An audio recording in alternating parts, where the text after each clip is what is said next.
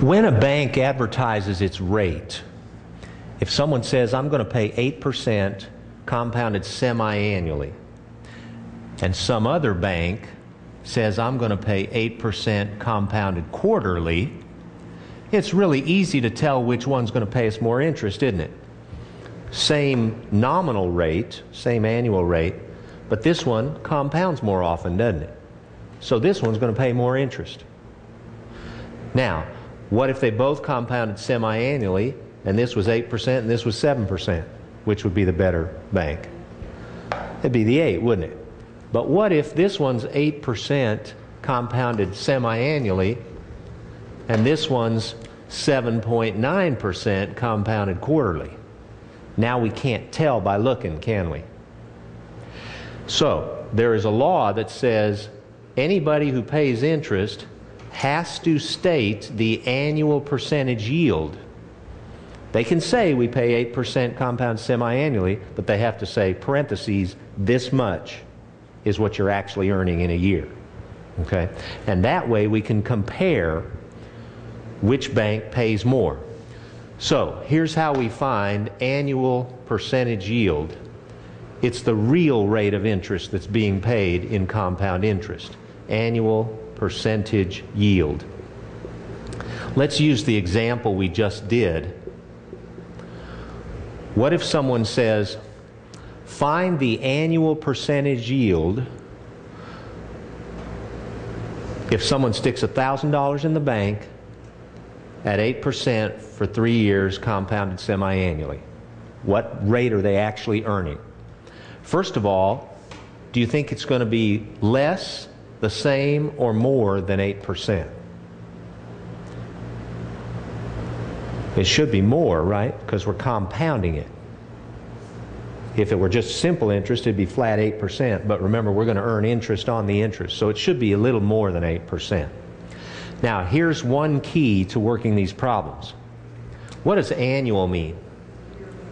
It means yearly, it means once a year. In other words, if they tell you three years in the problem, don't put, don't use that.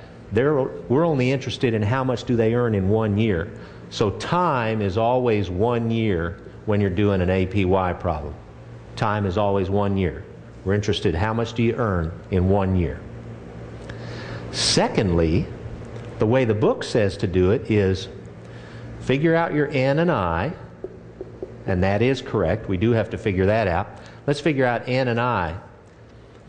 N would be time in years times the number of times we compound. How many years are we talking about if we're trying to figure out an annual percentage yield? One year. And how often are we compounding? Semi-annually, twice a year.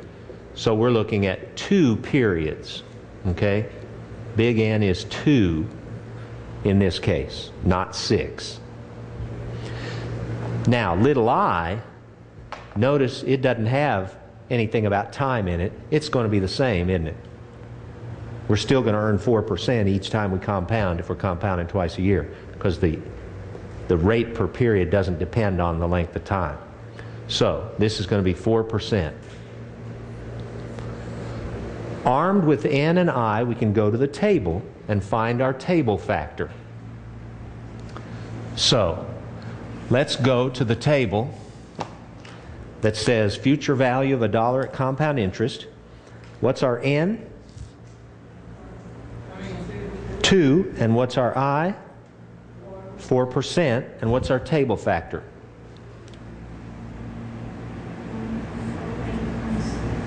One point oh eight one two six six, and that's probably what you said. I just didn't hear right. Does everybody get that for the table factor? With n being 2 and i being 4%? Now, the book says, let's multiply this by 1,000, see what their maturity value is, subtract 1,000 from it, see how much interest they earned, then say what percent was that, divide it by 1,000, see what percent it is. That's like one of those magic tricks. Multiply this thing by 1,000, then subtract that then subtract that number, subtract a thousand from that number, then divide the answer by a thousand. That thousand didn't have anything to do with anything. Here's, here's the secret. Just let your present value be a dollar. Okay? Here's our future value of a dollar. Here's our present value. How much did we earn? We earned that much, little over 8 cents. We divide it by 1 and it stays the same. In other words, that decimal part is the APY. That's the APY. That's how much we actually earned on a dollar. We earned, and then we change it to a percent. So when we move it two, per, two places over, we were actually earning 8.16%. Now, what if we compounded it quarterly? If a bank paid 8% compounded quarterly, see, we really don't care about the present value, and time is always one year. So, how many periods are we talking about? One year quarterly, that's four. What percent would we earn each time if we're earning 8% a year and we're doing it four times? We'd earn 2%, wouldn't we? N times I always has to equal R when you're talking about one year. N times I equals R, 8%. N times I equals R, 8%. So let's look up four periods at 2% each time. Would we anticipate that being more or less than this? Should be more because it's the same interest rate, but we're compounding it more often. And sure enough, with 4 and 2, we get 1.08 what? 24.